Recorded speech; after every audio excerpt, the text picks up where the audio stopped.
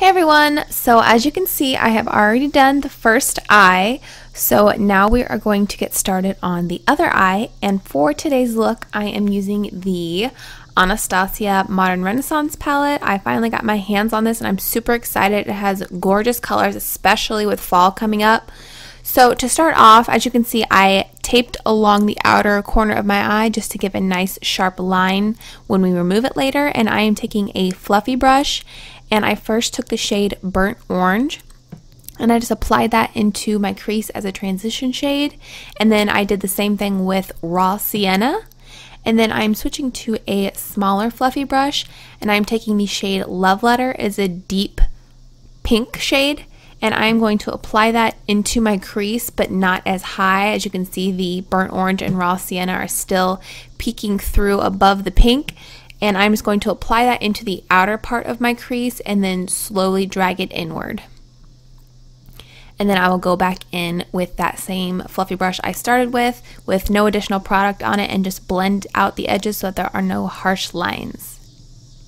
Then I'm taking a flat shader brush and the shade Venetian Red, and I'm just going to pack that onto the outer half of my eyelid, leaving the inner half blank. And then I'm not sure where the footage went, but I also mixed a little bit of Cyprus Umber and Red Ochre on a smaller brush and just put it on the very, very outer corner. And then this is me just blending it out just to add a little bit of depth and dimension.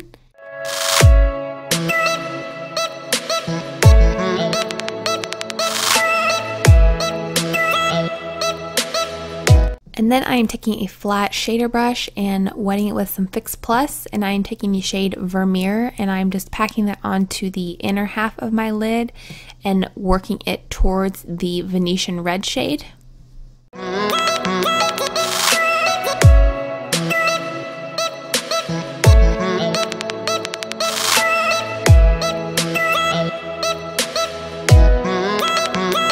And then I will go back in with a blending brush and just gently blend the two together so that there are no harsh lines.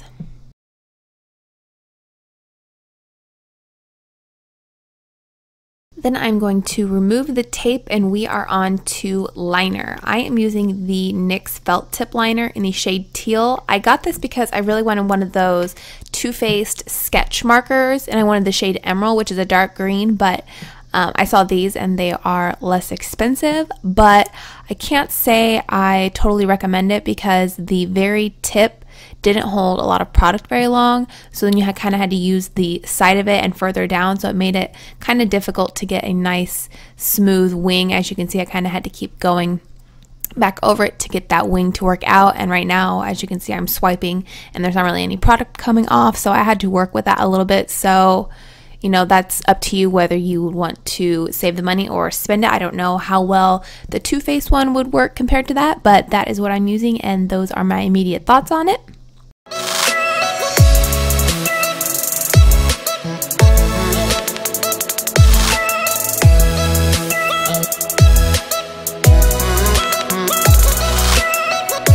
And then I am just taking a flat shader brush and highlighting under my brow with the shade Tempera.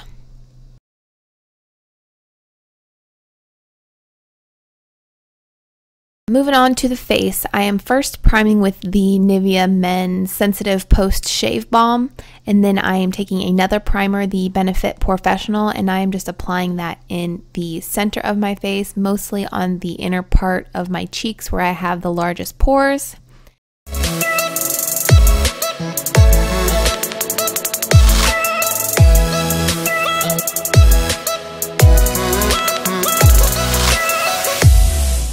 Then we are going to go in with foundation and I'm using the L'Oreal Infallible Pro Glow and this is in the shade 205 Natural Beige and I am just applying that with a damp beauty blender.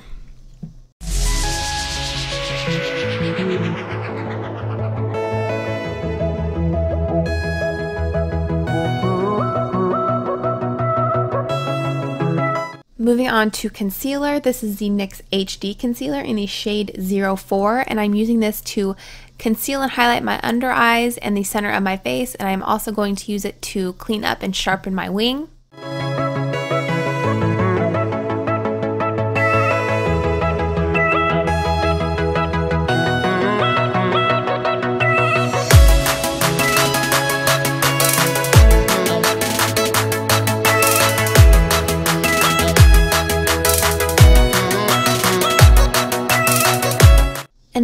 I blend that all out, I'm going to take the Clinique Beyond Perfecting Foundation and Concealer in the shade Cream Caramel, and I'm just going to do a little bit of cream contouring with this.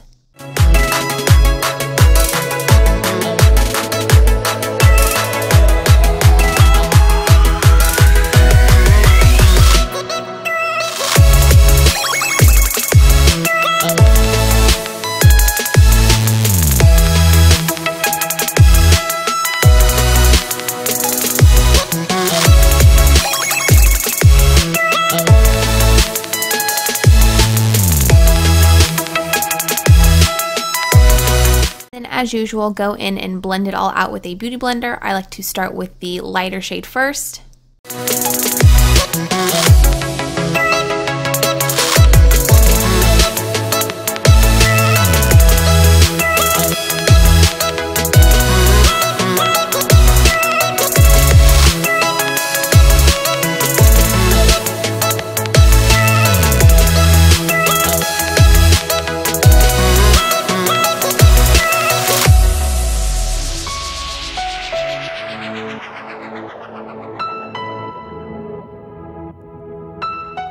I'm going to go in and bake the under eye and center of my face with the RCMA No Color Powder and a Beauty Blender.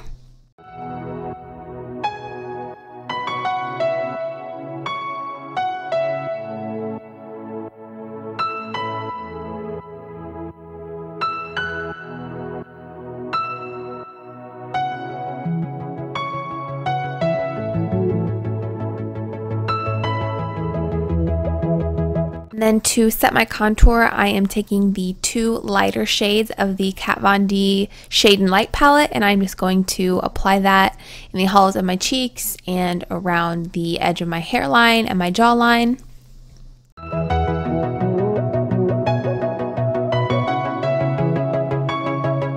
And then to warm up the face, I'm using the NYX Matte Bronzer in the shade Medium, and I'm just going to go around the whole outer perimeter of my face and down my neck a little bit.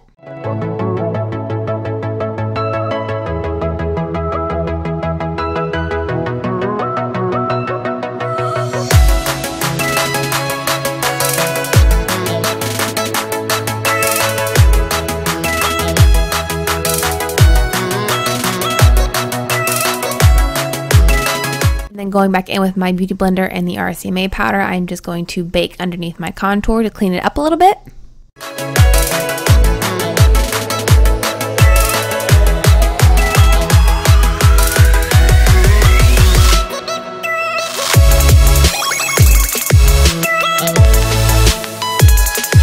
And then I'm going to go in and brush away the bake underneath my eyes and in the center of my face, but I'm going to leave the one under my contour for a little bit.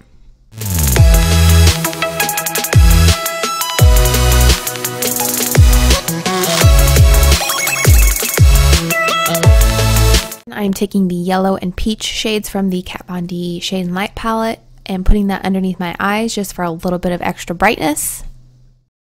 Then I am taking the same contour shades on a flat eyeshadow brush and I'm just going to use that to contour my nose. And I'm just using this flat brush to do the initial application of the color and then I will go in and blend it out with a blending shadow brush.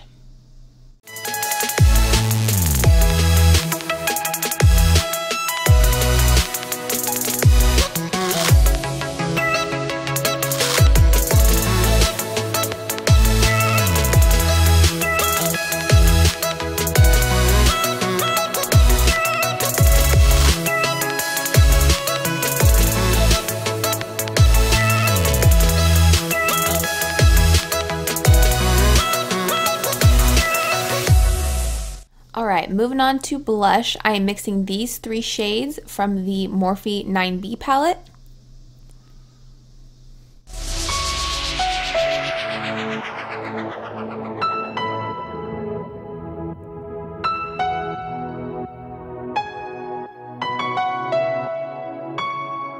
Then for highlight, I'm using the Anastasia Glow Kit. I believe it is the That Glow one. And I'm mixing the three lightest shades and highlighting the tops of my cheekbones, my cupid's bow, the tip of my nose, and down the bridge.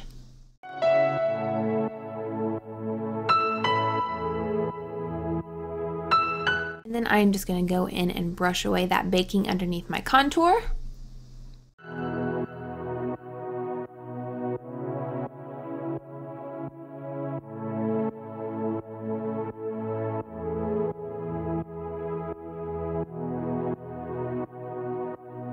Moving back to the eyes, I'm taking a flat definer brush and the shade Venetian Red, and I'm just going to pack that up against the base of my lashes, and then I'm going to blend it out with a small fluffy brush and the shade Love Letter, and then the two shades I used as transitions and then I am going to line my upper and lower waterline. I used the It Cosmetics No Tug Waterproof Gel Liner. I got it in my latest Ipsy package. Didn't love it, had to go over it so many times to get it to finally give me any color payoff. And then if you go over it after that, it starts to remove the pigment. So didn't love it, but that's what I used. And then after that, the eyes are pretty much done. I'm just going to put on some lashes. So this is what it looks like without the lashes. And then the lashes I used are the Salon Perfect 615s. And then onto lip color, I really wanted to use the Too Faced Melted Matte in uh, Queen Bee that I just got, but it was not the right shade for this look. So instead, I am going to line them in the Makeup Forever Aqua Lip in the shade 5C. And then for lipstick, I'm using the ColourPop Lippie Stick in the shade Brink. And after that, this look is complete. I really hope you guys enjoyed it. Please be sure to give it a thumbs up if you did and subscribe to my channel if you haven't already. And hopefully I will see you all in the next one. Bye!